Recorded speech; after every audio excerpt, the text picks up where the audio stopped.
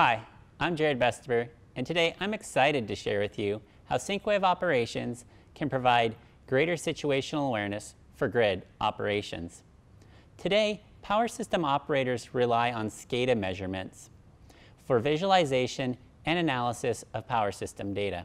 SCADA data typically updates at a rate of once every four seconds. Newer time-synchronized measurement technology, such as synchrophasors, relay oscillography, and now streaming point-on-wave data, have resulted in an increase in the volume and rate of data available to grid operations. These newer measurements can provide more than 100 times the visibility when compared to traditional SCADA data for power system events. As the number of devices deployed with this new measurement technology grows, a new challenge emerges. How do operators and engineers view this data, develop an understanding, and then take action without becoming overwhelmed by the sheer volume of data? This is where Synchrowave Operations comes in.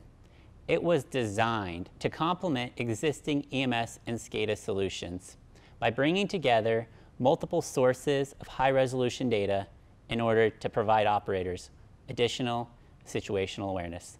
Now, let's dive in and see how we do it. Synchrowave Operations provides grid operators with three primary workflows, system monitoring, asset investigation, and notification analysis. In the top right-hand corner of the software, we have our notification summary. This provides the operator an overview of the system state and also alerts operators of any active events on the system. Next to the notification summary, we have the event timeline. This timeline provides control over time within the application and also provides a summary and sequence of events of notifications that have occurred. Here you can see a 2 followed by a frequency notification. Below this gray line is our dashboard space. Dashboards are composed of panels that provide information on the state of the power system. By bringing together this data, we can provide a system perspective across multiple assets for operators. On the map, the operator can see the transmission line coordinates and also see weather layers such as wind, fire, and lightning information. Here on the map, you can see several hot spots representing active fires in the region of the power system being viewed. An operator can then drill in if a particular fire gets too close to any transmission line and see if the line is being impacted. We also have, for example, a frequency trend on this dashboard with a system frequency representation in the top right-hand corner as well. We also have a phasor scope, which provides an indication of the phase angle stress across the system, followed up by a bar chart showing the system voltage across the particular power system. Next, let's go ahead and investigate a notification. Here on the timeline, we can see those two notifications that I referenced earlier. By selecting the notification, the software automatically takes the operator into notification analysis mode. Here we can see there are three total events in my list. An oscillation was detected, as well as two frequency events. We're going to go ahead and select the frequency event.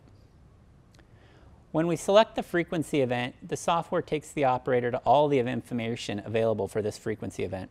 You can see how the geospatial map shows all of the locations that detected this particular frequency event and also provides a primary location as well.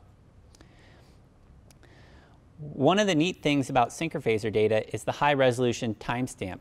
This allows us to group all of the data across multiple locations together into one notification, simplifying the operator's workflow. The operator can also see on the trend the thresholds that cause the particular notification to be generated. They can then zoom and pan through this data to investigate further, as well as the software integrates relay event re record data as well. So the operator can see a summary of the information from the event report collected from the relay that ended up tripping off this generation. The operator or engineer can then download this event for further analysis in Synchrowave Event. Synchrowave Event provides visibility into relay oscillography. Operators can use Synchrowave Event to verify the phases involved in a particular fault. Engineers can use Synchrowave Event to understand root cause of the relay operation. Let's return back to Synchrowave operations. After completing analysis of the event, the operator can also return back to system monitoring. The last workflow for an operator that Synchrowave operations supports is asset investigation. An operator can drill in to any asset's high resolution data by selecting that asset directly on the GIS map. When selecting the map, the software brings the operator to all of the information available.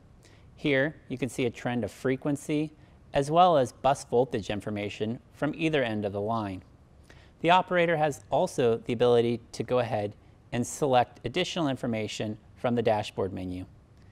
By selecting the phase angle difference dashboard, the operator can see the real-time phase angle separation across the transmission line and compare that to other transmission lines phase angle separation as well. The dashboard also includes a trend of the phase angle separation across the line with comparison to its limits. The operator can also select phase current, phase voltage, as well as three-phase power, reactive power, and real power across the particular transmission line. We've also added the ability for the operator to compare SCADA information alongside PMU data, as seen on this display.